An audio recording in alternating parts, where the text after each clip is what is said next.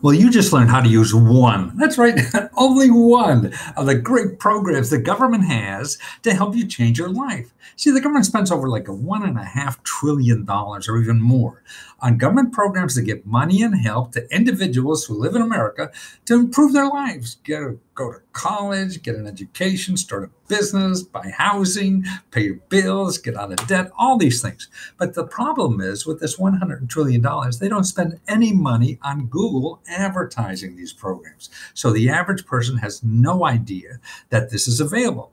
And that's where I come in. You know, I've been studying this stuff for, gosh, almost 40 more years now. I've written hundreds of books on the subject, sold millions of copies. But now I'm still doing this because I feel I have 20 more years to help people.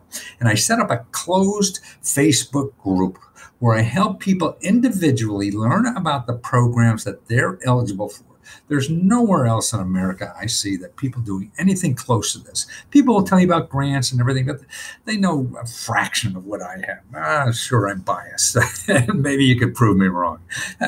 Uh, but truthfully, the stuff is there. The rich people use it. I've helped millionaires use these programs. People who are even on the street use these programs. They're for everybody, every income, every age, every background.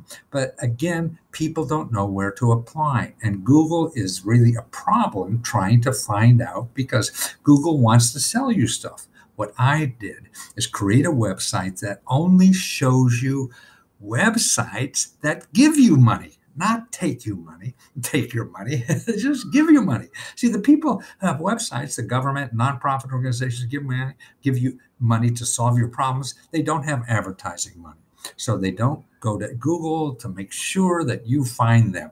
You have to know where they are. You have to know the name and everything. So that's why my closed Facebook group gives you one on one information and help to apply for every government program you're eligible for. There's an average of almost $22,000 per family that's given out. And that's why Everybody could use this.